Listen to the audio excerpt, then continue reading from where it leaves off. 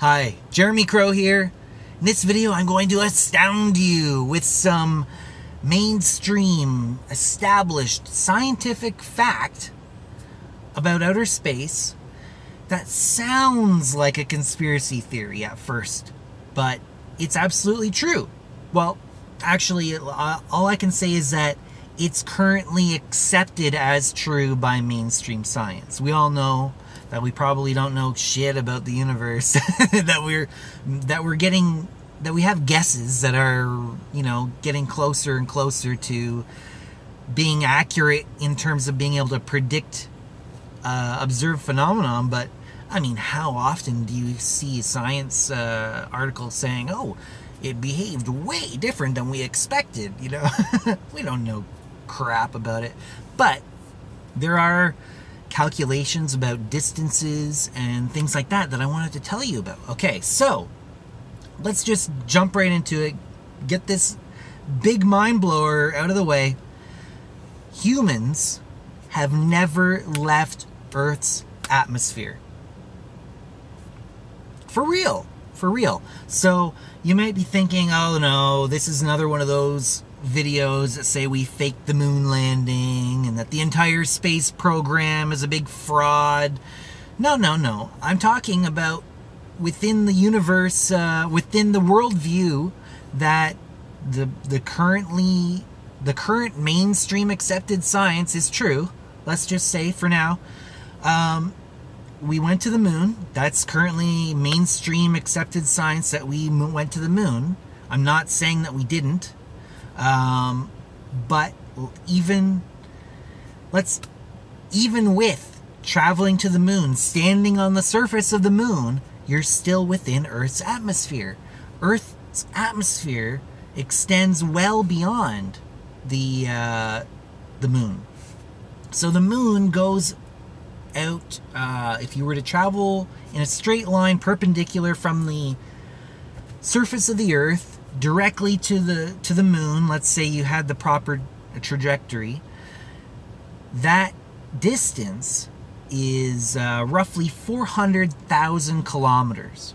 Now for my metrically challenged friends in Libya, or no, uh, Liberia, Myanmar, and the United States of America, that is roughly 250,000 miles.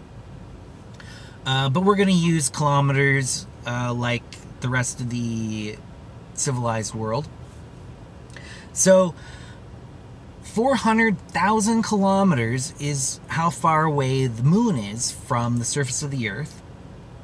The Earth's atmosphere, they've they've realized in less than a year ago. It's been it's been less than a year since they've realized this, even though the measurements that prove it go back decades. Um, it goes out. They've calculated that it goes out at least about six hundred thousand kilometers. So that's well beyond the distance between uh, the surface of the Earth and the Moon. It go the, the entire Moon is is within Earth's atmosphere.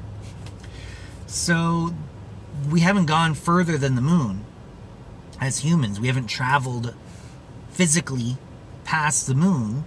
Uh, I mean, we've circled around the moon, but we haven't gone any further beyond that.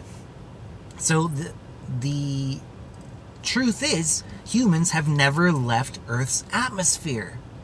Isn't that a mind blower? Um, so, also, the other thing that I wanted to mention is that this International Space Station, it's, it's not really in outer space. It all depends on how you define where space begins and where it ends, right? Um, at what point are you in outer space? Well, if you ask the institutions that are involved in this kind of thing, NASA, um, there's a French one. I can't remember the name of it. FAI, I think, are the is the acronym for it.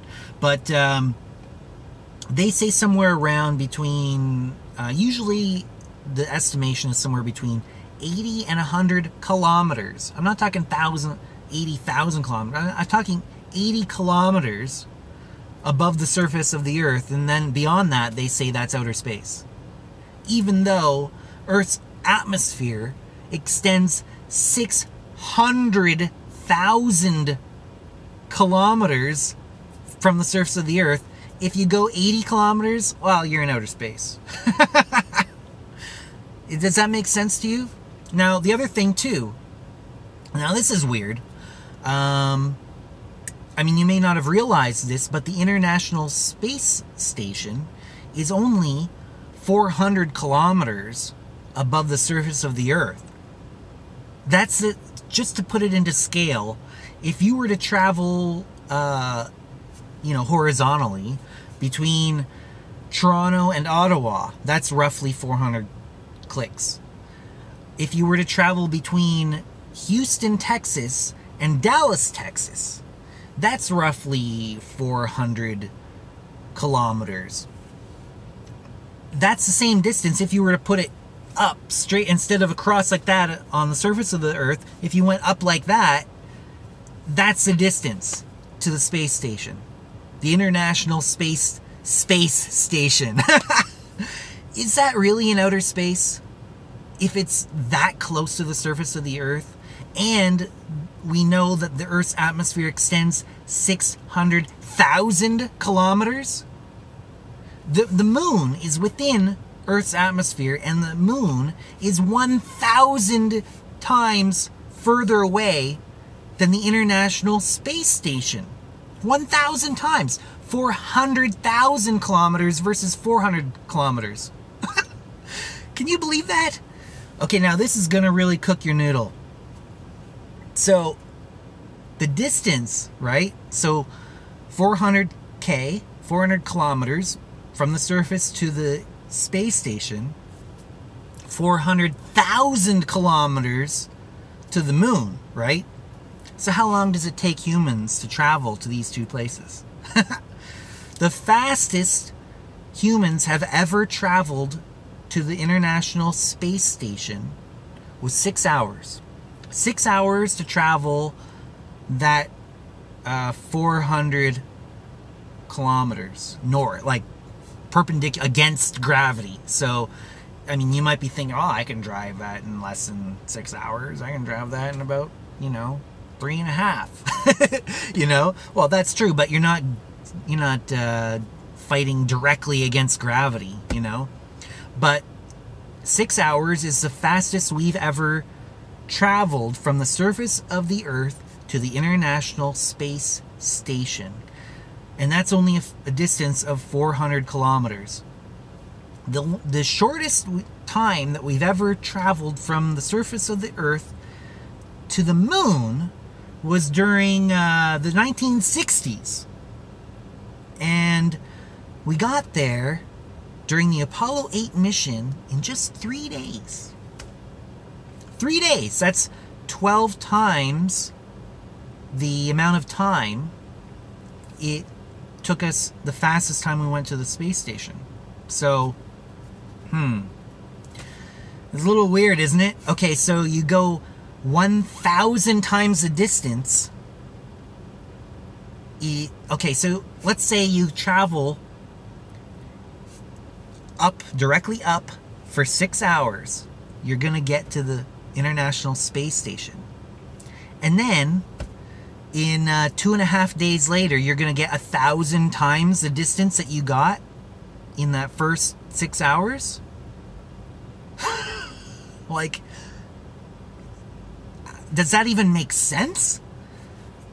It, it just these are these are the facts of the matter and it's just really hard to kind of wrap your head around these these ideas because I mean, I don't know about you, but when I thought of the International Space Station, I didn't think that it was just 400 kilometers above the surface.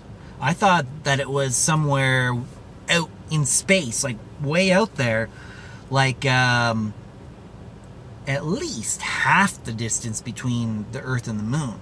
At least half. No, it's one thousandth the distance between the Earth and the Moon one thousandth that distance. okay, well, I, I think I've ranted on about this enough, but Doesn't that blow your mind? Humans have never left Earth's atmosphere. The space station is one thousandth the distance, but it only took us one twelfth the time to get there. Anyways, what what do you think about all this? Let, let me know in the comments below. And until next time, everybody, stay lucid.